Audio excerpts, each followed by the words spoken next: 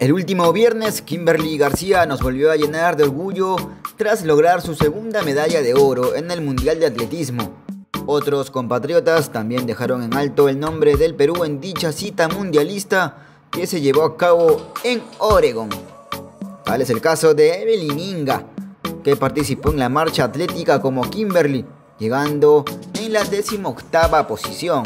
Y en la rama masculina, César Rodríguez se ubicó en el puesto 16 y con un tiempo de 2 horas 29 minutos y 24 segundos batió su propio récord nacional que había logrado en marzo pasado.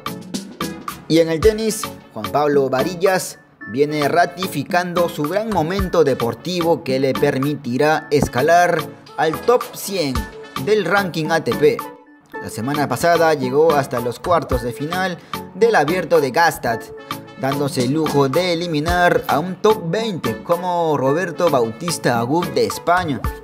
Y este lunes venció a otro ibérico como Carlos Taberner para clasificar a octavos de final del abierto de Kitzbühel en Austria y ahora rivalizará ante Albert Ramos Viñolas.